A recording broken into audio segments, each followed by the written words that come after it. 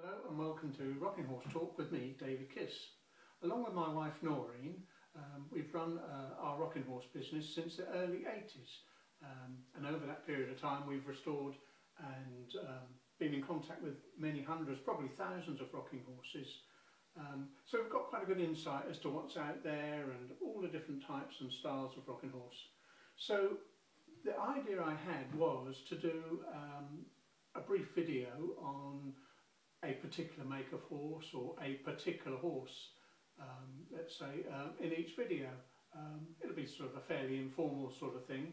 Um, I'm certainly no expert with a camera um, and hopefully it'll all come together okay. So today I was going to talk about this horse which is made by FH Ayres.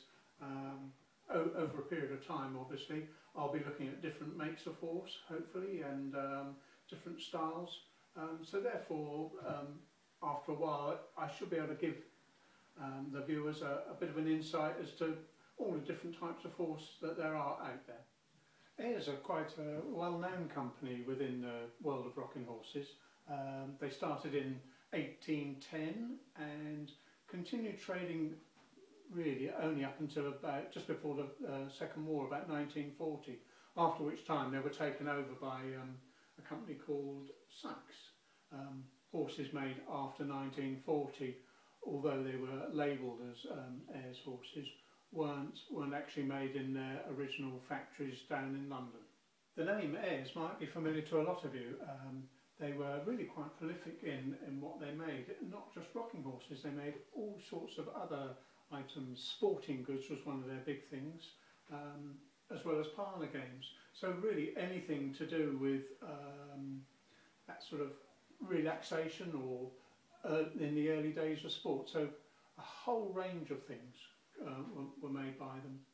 As with all things, um, Ayres were very prolific um, in the manufacture of their rocking horses. Um, and over the years, they produced all sorts of different um, sizes and different models um, and in quite a variety of finishes as well. Um, there are only a few catalogues about, um, so it's really quite difficult to get to grips with exactly when any of these horses were made. Um, they had a terrible habit of using the same illustrations from some of their very early catalogues um, and still using, say, from about 1895, um, and then still using the same illustration back until uh, 1930. So our horse today was made in about 1925.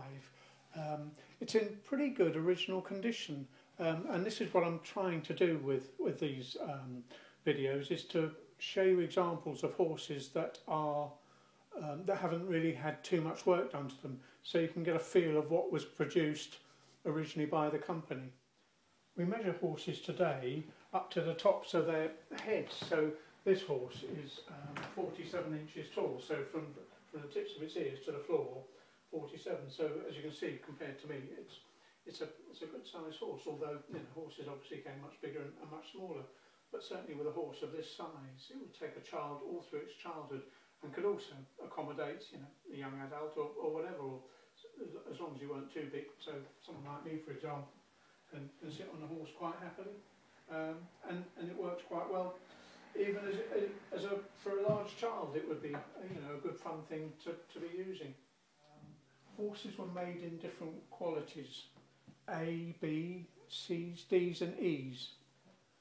Very early horses didn't seem to have um, any particular um, description about them. I think they just came in one quality and that was a really good, um, what we would now class as an extra carved um, horse um, with very good detailing on them. Um, but later on, um, horses were denoted by perhaps a, size, uh, perhaps a quality A or a B.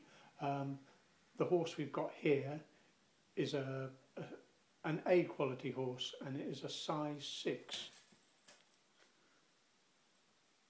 So here we have a 1934 catalogue and it talks about um, A quality. I don't know if that's in focus for you or not.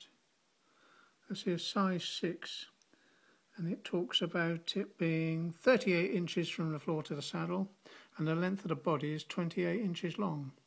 Um, so we can confirm this with our horse by, um, well, initially, the horse has got six stamped on the stand.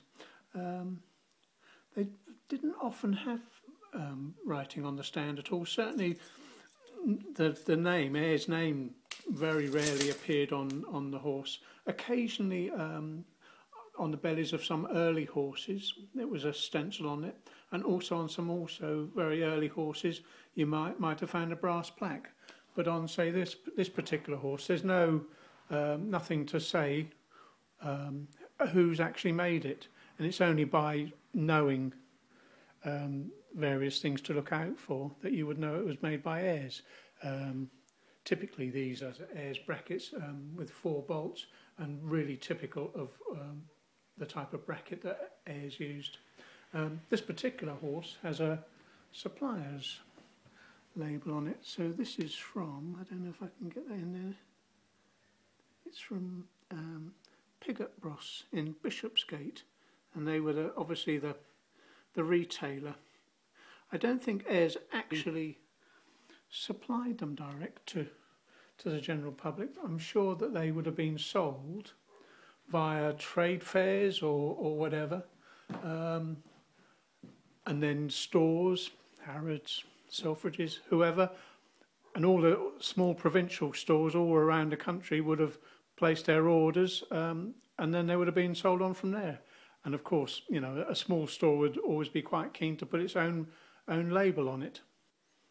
I'm often asked, uh, how, do you, how would you recognise a particular make of horse?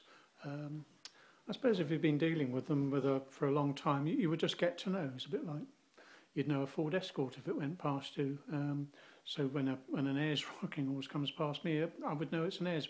But if you're not if you're not sure, there are some real key features about about the horse. Um, I, I talked about the bracket.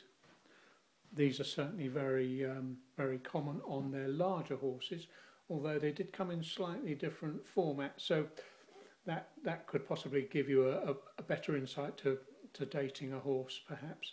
Um, this example is a pressed top plate. Um, other things that you would find on an Ayres horse are um, the points on the end of the on the runners, um, and typically the style of post. Ayres tended to use the, basically the same style of post throughout their range of horses, although um, it would have varied um, from a from a very small horse. You might not have got quite as much detail on a on a on a smaller post um, as you would on, a, on say a larger one.